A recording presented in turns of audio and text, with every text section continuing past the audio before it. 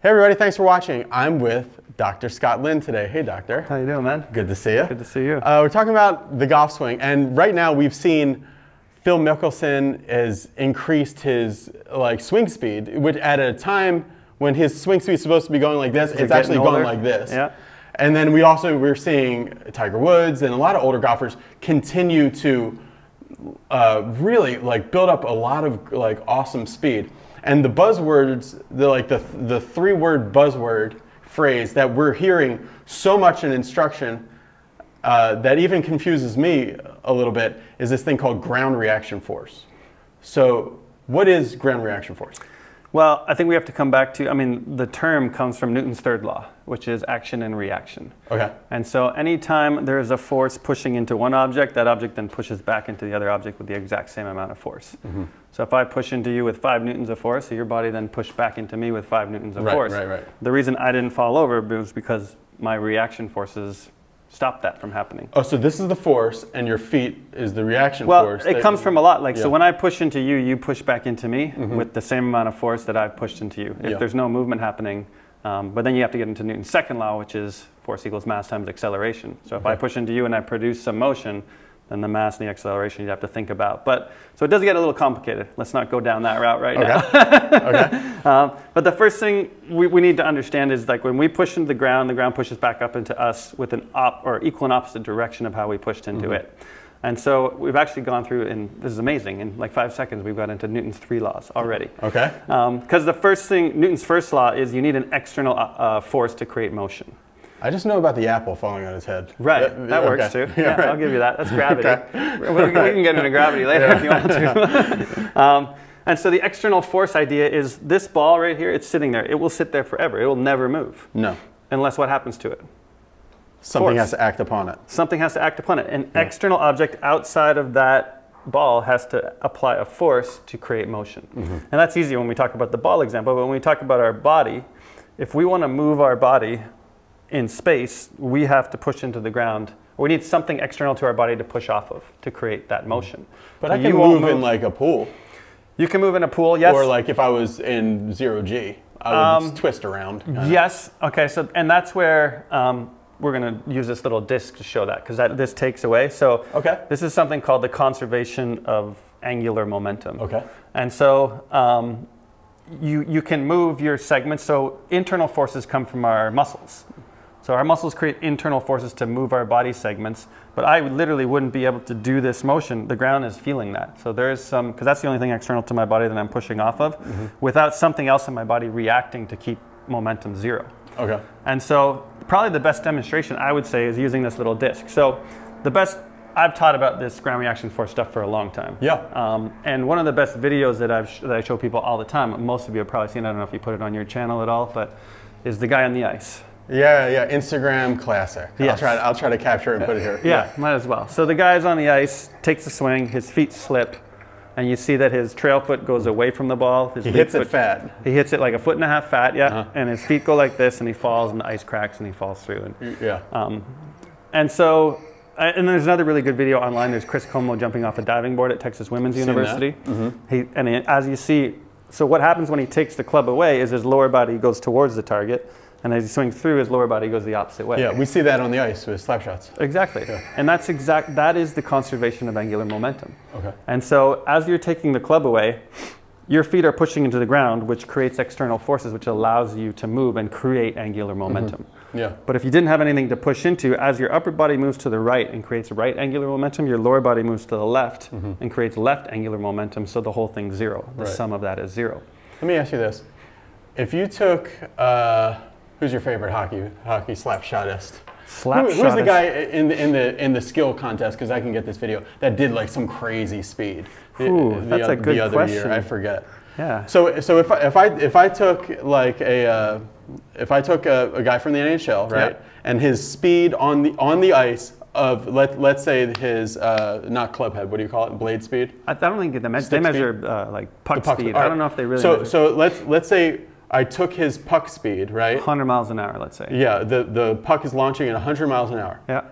Would he hit the puck faster if he was on the ground in sneakers and then and the puck was just on ice? Um, well, it's different mechanics. Because I can't imagine him hitting any faster. No. Well, the thing is, with with hockey, you, you produce more linear force. Right, because it, it will stop you from this. Yeah. This the, the blades, but you this will not. Yeah. You can't do that. So, and that's the thing we find in golf. There, there are some golfers that use a lot of that horizontal or that linear That's force, me, and yeah. they don't turn as much. Yeah. So we saw you on the plate the other day, right? There wasn't a whole lot of torque happening, but you had the yeah, tour, tour level horizontal force. Yeah, but, then, yeah. but the torque was not quite Yeah. up there. And so, um, and with hockey, you can't do that, right? Because your feet would slip. R- okay. And so you produce linear force. And, and obviously, you know, if, if a hockey player stood still and tried to shoot it, they wouldn't shoot Okay. it as fast. So you notice when they're doing the, the long, or the fastest shot competitions, they skate into it.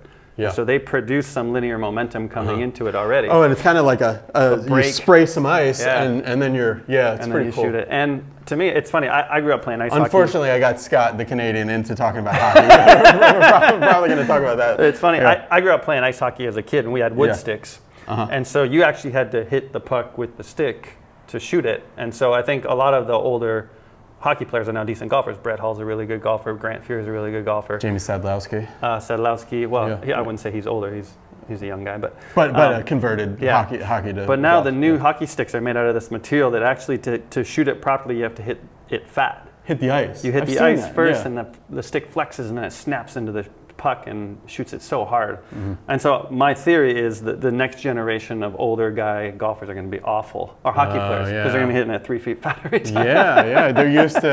eh, Well, maybe they'll be good bunker players. All right, so what can I learn about ground reaction force and whether uh, uh, from looking at this? Okay, so when we talk about ground reaction forces, now we talk about three basic types of Uh-huh. ground reaction force. The one we talked about, the hockey players use quite a bit, is the linear one, or the horizontal one, or the sway. Yeah. And that's the one where you're actually pushing away from the target and it's driving your body towards the target. Mm-hmm. Yeah. So I think that's one that the golfers, or the, sorry, hockey players would use quite a bit.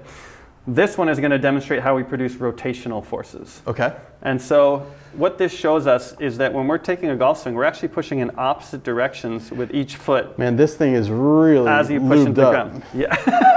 That's what it's supposed to be. It is Yeah. a frictionless disc. Yeah, it really is. And then perfect. And so this is All right, what so you're- here I'm going to do. I'm gonna gonna try one? my- yeah, sure. let's see what your club head speed is with uh, Okay, so we got we got the uh, Foresight Sports quad here. the GC quad, yeah? and a real golf ball, as Rick Shiels says. Real golf ball. Okay. Here we go, baby. hey, That was really athletic. All right. Uh, 63 ball speed, 61 club speed. Your, your smash factor was not so good. Yeah. 1.04. I got six, 61 miles an hour of, uh, Of club club head speed, speed. only. And your normal club head speed that- with that would be. That's a, this is a frictionless environment here. Yes. Yeah. Um, and there is still actually, you know, a little bit of friction there. It's not completely Yeah. frictionless. Because would be somebody like- was telling me it's not really so much about the ground force; it's more about the shear force. Well, that uh, ground This force has is no- a shear force. Oh, it is. Yeah. How so? So ground forces can happen in kind of three directions, right? So they can happen straight down. Mm-hmm. They can happen side to side, like away from the target and towards the target, Yeah. Uh-huh. and they can happen forward and backwards, away from And the ball. torque is towards- just a combination of side to side. uh, forward and backwards. Yeah. Forward and back- yeah, right. forward and backwards, like towards and away from the ball. Yeah. Because what you're doing actually in the downswing is you're actually trying to pull, and everybody's seen somebody in their downswing have their back foot slip. Yeah. And so that just means there's not enough friction between your foot. But everybody's downswing, their trail foot pushes away yeah. from the target. yeah, Greg Norman used to hit awesome drives. That yeah, way. yeah, yeah. So what kind of why? So from a scientific standpoint, Mm-hmm. I swing this club 92 miles an hour or something. Yeah. On my feet. Yeah, That was only 61. yeah, And it was a lot of effort. yeah. Why? Why was it slower on this thing? Well, because you aren't able to produce those rotational forces. There's no ground reaction forces that can happen here. So the only mm-hmm. forces you were using there, because you can still push a little bit side to side using this plate, Right. and you can still push a little bit straight down and produce Oh, the vertical force. Yeah. So there's two of them you can still use, but we mm-hmm. took away your rotational force there because you saw that your lower body went the opposite way. So Yeah. you couldn't produce any angular momentum. Mm-hmm. Angular momentum stayed zero, and that lost you 30 miles an hour at club head speed. How can we relate using the idea of ground force to build up more speed? Well, this is where it becomes very individualized. Yeah. Um, what we're finding is we we measure how much people are using the the side to side force, or like we call it kind of the gliding or the horizontal force. Mm-hmm. Uh, and we've measured it in a bunch of tour players, and we measure how much they're producing that rotational force or that twisting force. Mm-hmm. Mike Adams calls it a spinner force, and then the vertical force, like the launching. So this is one that we've learned a ton about recently because Yeah. guys like Justin Thomas and Bubba Watson and uh, Yeah, like Lexi Thompson and uh, in the Laura tele, Davies. yeah, in the telecast, I'm always hearing about jumping and, Yeah. and always seeing you know Justin Thomas and, and Patrick Reed and other guys Yeah. airborne. Yeah. Uh, Well, and that's something that I think previously old golf instructors, like I remember when I was growing up, I, I saw golf instructors literally holding kids' feet on the ground. They're like, no, no, you don't jump in golf like that. You keep your feet on the ground. right. And I think whoever, I mean, Justin Thomas's dad or whoever taught Patrick Reed growing up was smart enough to say, no, like, that's one of your things. Yeah. Keep doing it. And, Yeah. Mm-hmm. and that's ridiculously smart to, to leave that in there because Mike Adams always says, uh, you know, Justin Thomas would be selling insurance if his dad held his foot on his ground, on the ground when he was a kid. Okay. Because that's one of his major power sources. And he, um, and so, But should, should we actively try to jump in our swing, or is it just that we're moving so fast the jump is a reaction to trying to Yeah. shallow out the club or It whatever depends. else? Is, is always the answer I give you. I give people on that because it depends Yeah. on the human being. What human Let's being is switch it. standing in front of you. Okay. Um, and so, if you took, um, let's say Gary Woodland, Yeah. tons of club head speed, and Mm-hmm. we've measured him on our plate, or have his data on our plate. I didn't measure it; it was I forget where it was measured from, but um, he has a very small amount of vertical force, but he produces Even less than tour average. yeah, he produces a significant amount of of lateral and a ton of rotational. Okay. And so for his body, the lateral and the rotational works great. And our theory is, and I've never been able to test it because obviously those guys, you know, don't want you screwing around with their swings. But Right. our theory is if you added more of Justin Thomas to that body and the way that body is designed and the way it's learned to move, Probably wouldn't help. it wouldn't help. It No. probably, and I, I've seen it multiple times where I've been working with amateurs or other Mm-hmm. golf teachers on this plate, and we've actually made their jumping force go down or their vertical force. Like we've given them less of it, Mm-hmm. Yeah. and club head speed has gone up Yeah. because that wasn't efficient for their body. Okay, because I think in a, a lot of times I did this test on my channel recently that uh, we're going to do another video about. But I did a test on this channel recently where I had heard some cues from a tour pro talk about um, talk about really like leaping through Off this area front, here, yeah. And it made me slow. It did make me slower, kind of kind of like you were saying. Yeah, and so all of us, um, But for him, you know, it made him faster. Yeah. So which you know I'm sure totally. is true. And Yeah. this is where um, a, a really good quote. So um, I don't know if you've done anything with Andrew Rice um, in uh, Savannah, Georgia. Mm-hmm. I haven't, but I know I know. Yeah. So he runs this thing called the Coaches Camp that happens every December, where all these golf coaches come and he brings a panel of experts. So, so I was talking at this Coaches Camp thing. I think George Gankas was sitting there, and uh, Cameron McCormick was sitting there, and a couple of the ping guys were there. And I was talking about all these tests that I've developed to try to put people in little groups. So Mike Adams has a little right hand grip test. He measures the length of your forearm relative to the length of your mm-hmm. upper arm. Does this little test to see what your rotational pattern is and where you rotate around on your backswing. Okay. And then I do some tests for dominant leg, and we're doing these jumping tests now to see how your nervous system works and whether you're a resistor or a releaser. This is stuff we're working on with Ben Shear uh, in New Jersey. So I'm talking about all these tests that I'm putting people through to figure out to what little group to put them in. And uh, Paul Wood is there, who's an engineer for Ping. Okay. And I remember he's sitting there with a beer in his hand. I, I talked to him about it, I think last year, and I don't think he even remembers saying it. But he sits back in his chair and he's like, he's like, I hate working with human beings. They're so messy. Right.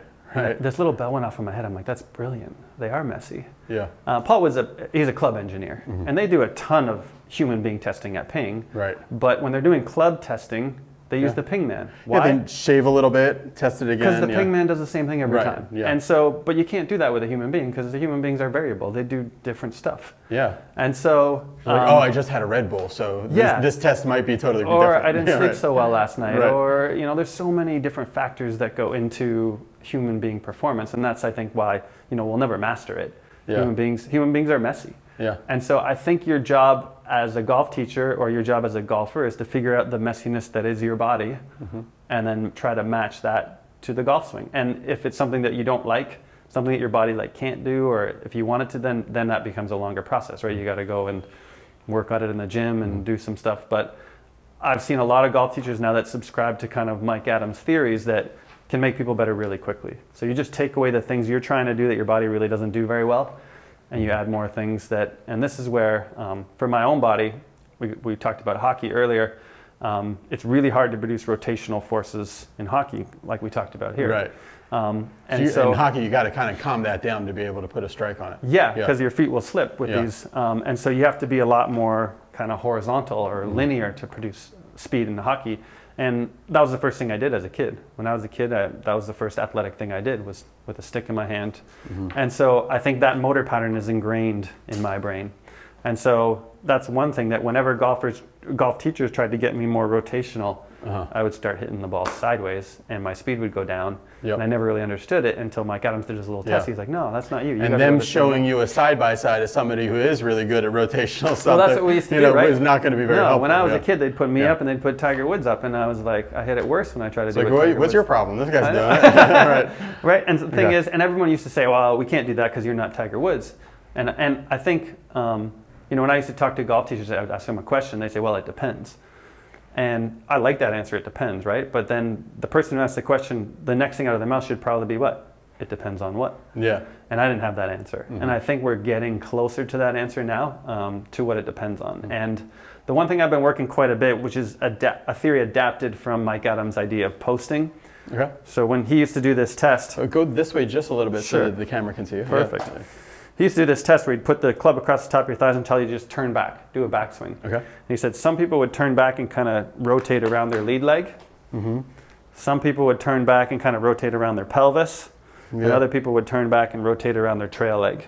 And so he said there's like a rear post type golfer, there's a center post type golfer, and there's a front post type Mhm. golfer. Yeah. And to me, I've done a lot of work previously on dominant leg, like what's your strongest or more dominant leg. Yeah. And one of the wa- ways in science that people kind of quantify that is what leg would you kick a ball with? Mm-hmm. Most Yeah. people would say right. Yeah. And so in science, they used to say, well, you know, that's the dominant leg is the leg you kick a ball with. And I'm like, I don't know about that. Okay. Human beings are messy, right? I've, I've kicked, Right. I could So probably I, count I on- would kick a ball with my right leg, but if I was going to dunk a basketball, I'd definitely jump, jump off, off, my left your leg. left. Yeah. And, And maybe that's because I'm using my right hand, though, so I don't know. right, Yeah. there- it's, it's complicated, right? Yeah. And it also has to do with what you do all the time. Like hmm. I've, I've played probably two games of soccer in my life. Okay. I don't Yeah. have kicked a ball a whole lot. So that motor hmm. pattern probably isn't going to determine my dominant Right. athletic pattern because I, Right. don't, I don't kick balls. I don't, hmm. That's not something I did, right? Right. Whereas the hockey thing is probably something that really determines more of my motor pattern because. I did that a ton as a kid. That was the athletic thing I did. And so dominant leg testing is a lot more complicated than that. But I think it's, uh, and I don't think it's a, um, it's like boxes. It's not like your front, your center, or your rear. Mm-hmm. I think it's a continuum. So maybe you're like little front of center, or your little rear center. Yeah, right. And so um, this is where I think that's probably the one thing that I would say would be the most useful for somebody using ground reaction forces Mm-hmm. Yeah. to understand kind of what their strongest or more dominant, most dominant leg is. Yeah. Because that can then help you guide what your forces need to be or what are going to be optimal for you. Yeah, it seems like it'd be a good tool to be like, especially if you had a lot of uh, some time, and you'd be like, hey, we're seeing all your best shots are coming from this kind of pattern. Yeah. So we've tried a lot of different things. Yeah. Uh, I was at a uh, talk that Scott did the other night. Just to be like, okay, try this. Bad shot. Forget that. try, try this. Yeah. Oh, good shot. Right. There might be something to that. Let's you know. So it's kind of it's kind of help helping guide you towards. Sure, Yeah. and, and the thing is too, um, what I've learned from a lot of my motor learning friends, um, uh, one specific guy uh, is his name Will Wu, he's at Long Beach State University, um, and he does a lot of work with the track athletes down at the um, Olympic Training Center in Chula Vista, California, and he says he'll work with two track athletes and the coaches will identify the same issue in both the track athletes, whatever it is. Okay. There's some mechanical issue, both of them have the same one. so like they're, dipping their knee before they do their jump. or whatever it yeah. is, right? Yeah. So whatever the mechanical issue is that the biomechanist and the coach has identified, and they'll send them to Will and say, okay, we need them to do whatever this is better. These two guys have the same issue, and i'll go to them both and say, okay, his analogy was. Uh, I forget, like say quick feet or something like that, right? Yeah. And he says, okay, we gotta have quicker feet out of the blocks. And one guy phew, explodes out of the blocks, perfect. The other guy comes out of the blocks slower. That, that fixes his fault and makes him faster. Yes, The the, other guy. guy. doesn't makes him slower. Mm-hmm. And so then the other guy's like, okay, what's another way we can make quick feet? So maybe it's like, I don't know, I can't remember his, his cues, but like high knees or something like that. Or it could be like, move your hands real fast. Yeah, something sure, like whatever that. it Yeah. is, right? And Yeah. so, and then, but if you gave that one to the first guy, he'd get worse. And so, so that's where human beings are even more complicated, even Yeah. Mm-hmm. if we have the same fault. So, say you need more rotation in your swing, I could give you like a force cue, right? Try to get you to push in the ground to create Mm-hmm. more. It doesn't work for you, but it works for me. Yeah. And so um, this is where you know we really need to have more tools in our toolbox to This alter kind of things. library of, Yeah. of feels. And that's every Yeah. time we teach these um, ground reaction force stuff, I mean, you have to give people different cues. Uh, And what you do is you get better as you start teaching more and more at coming up with ones that work for more and more people, but they never work for everyone. Okay. And so that's where, you know, an external cue, a kinematic or a motion cue could work better. So sometimes I'll tell people take this belt loop that you got right here Yep. and turn it towards the door back there on your way Yeah. through. And so that works better for some people, that works horrible for some people. And so, Yeah, I've done some stuff with, uh, I think it's called Total Motion Trainer, a friend of mine makes. yeah, And they're the little balls that stick off of certain Yeah, areas. yeah. And he's noticed that if you tell somebody, hey, make your left hip and go this way Yeah. with it, he'll they'll get they'll they won't do it nearly as quickly or as well as if he puts the ball there and say, hey, just move this ball back that way. Yeah, and that is well supported by science. Yeah. So one of the closest thing to universal truth in motor learning is, um, and motor learning is really interesting uh, to me because it's it's not something. I mean, I studied a little bit in school, but then I focused on biomechanics. But Mm-hmm. now now I'm kind of trying to learn as much as I can from my buddies who are motor learning specialists because I think that's the next level is Yeah, trying to teach. And what they tell me is, if you're trying to learn a motor skill, it's way different from trying to learn a cognitive skill. Yeah. So if I'm trying to teach you math, Yeah. you know, we, we've done a lot of research on cognitive skills and how to learn them and teach them. And Math is would that be a little bit more like step by step? Straightforward? yeah, I mean, I, I, I'm still, you know, in the infant stages of it. But so one story I always tell people is, um, so, you know, let's say I'm trying to hit a draw in my swing and I'm trying to get an inside out path with a shut face. So I'm trying to hit a little or close to the, to the path. Um, and I'm working on that. If, if my buddy Will Wu puts together a, a training plan for me, Mhm. uh, the training plan or a practice plan will have some shots where I'm going to try to slice it off the planet. Do the complete opposite of what I'm trying to do because that calibrates your brain. So if your brain knows what it looks like to be over here, Yeah. and your brain knows like what it looks like to be over here, it can find the middle. And you'll never ever do that in a, in a cognitive skill, right? I'm not going to give you a math equation and say, okay, now this time just like fuck it up completely. Yeah, right. you're not going to do that. It's like a- Uh, yeah. like do it completely. No, you're Yeah. not going to do that. But in a in a in a uh, in a motor skill, it makes sense to do Yeah. that. But so there's a ton of research, and obviously, you know, human beings are messy, and we do research, and you know, we tell you what the average is. So like a lot of times you say, well, this group on average is different from this group because of, um, and so a lot of studies have found that using external cues is better than using an internal cue Yeah. to teach a motor task. So that's why if I tell move your hip, your hip's part of you. That's an internal cue. Yeah. But if I put a ball here, or I talk about your belt loop or whatever, that seems to work better for most people. right. Um, and, and with human beings, you know, it's never 100%. Sometimes Yeah, an and internal then cue might work in for that- some people. I think the Dr. Wulf research that I yeah, saw Gabby Wulf, yeah. um, it, it kind of depends on the level too. Like a, uh, a beginner can have some internal cues. Uh, intermediate player can have some like maybe club cues, and then like an expert can to have way like the there, target, the and then and then like the best in the world when they're playing their best in the world can just focus on like okay this ball's gonna land here and spin Yeah. there. Like they're so external. External. So, the- like the better you get, it's like you know, and everybody I think has seen that on the golf course man, Yeah. when they feel in the zone or whatever. Yeah. They're not really thinking about this stuff. They're doing that. The problem is though that if you're playing terrible, you won't, you don't, you can't really flip the switch on yourself just by getting out of your head getting and thinking way out there. Yeah. Yeah, no, I, Yeah. and then again, you know, human beings are complicated and there's Yeah. psychology to it. But uh, when you talked about that way far away Yeah. uh, story, what came to my mind was, uh, have you ever played LACC, Los Angeles Country Club? No. No, No. They're good courses. You know, they have two courses, right? The uni courses. What are you talking about? right. I had a buddy Yeah. who was a member there. Luckily, I got to play there a couple Okay, times. cool. No, I and the no, story is Yeah. you get on, I forget what hole it is, like four or maybe five. I can't remember. It's a long par 4 Uh-huh. and it's a blind tee shot on top. Yeah, it's a Yeah. blind tee shot on top of the hill.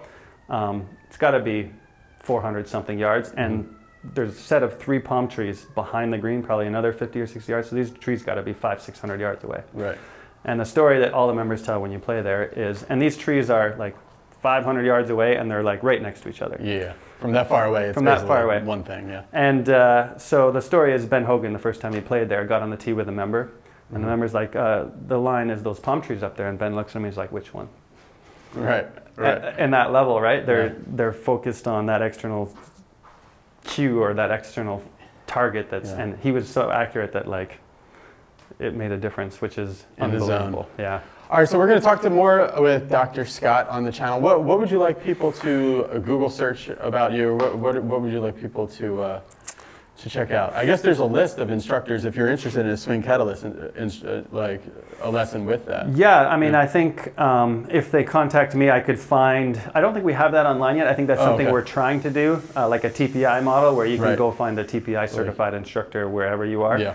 Um, but we're starting to get these plates a lot of places now, Mm-hmm. and so um, yeah, if they contact me, I could find somebody in their area that they could uh, that Yeah. they could try it out with. But um, we're, we're actually refilming a bunch of um, educational content for Swing Catalyst, and it's all going to be online. Yeah. And so, um, and I think that's the key thing with any kind of technology. So my analogy is always to the launch monitors. Mm-hmm.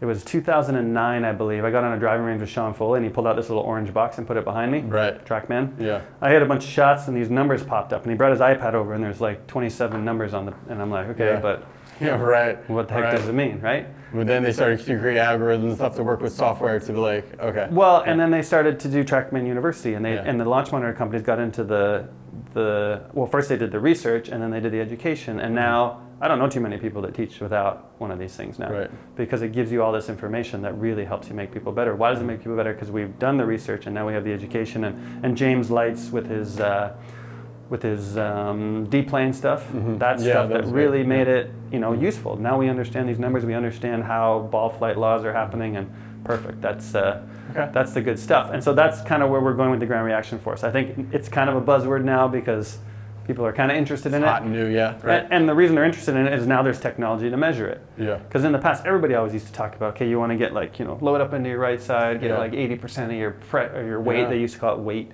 Um, so they've been talking about it forever, Mm-hmm. um, but we can't, we couldn't measure, it, we couldn't visualize it. Now we can, and so now we can actually understand how to make it happen. So you guys can send uh, Dr. Scott an email. Click the subscribe button. Thanks for watching and see you later. Bye.